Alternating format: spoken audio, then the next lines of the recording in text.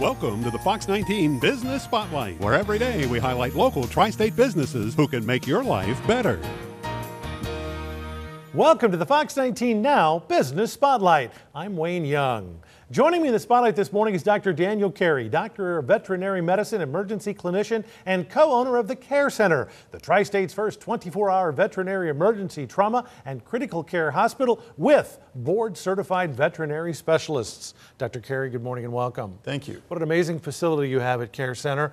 Unfortunately, this time of year, it's probably even more necessary for pet owners to consider the alternatives of facilities such as yours because of all of the, the stress and, and issues that pet owners can run into during the holiday season. That's right. It's an especially busy time of the year for us at the emergency room, just like it is for most people. Mm-hmm. Routines change around the holidays, and there's a lot of new things being introduced. So, all the good things about the holidays family, food, travel are things that can be stressful at the least, and sometimes even dangerous to mm. your pet. What are some of the things in particular that pet owners can do to kind of prepare for the holidays as it relates to their pets?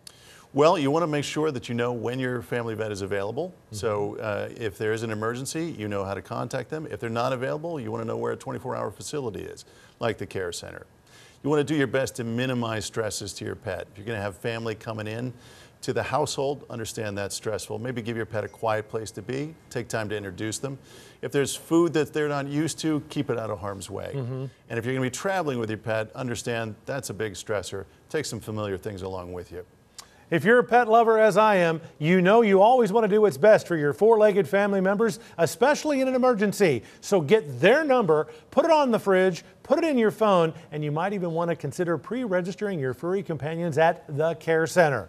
Dr. Carey, thank you so much for stopping by. Thank you for having me. And thank you for watching the Fox 19 Now Business Spotlight. For more information on this featured business, go to fox19.com and click on Business Spotlight.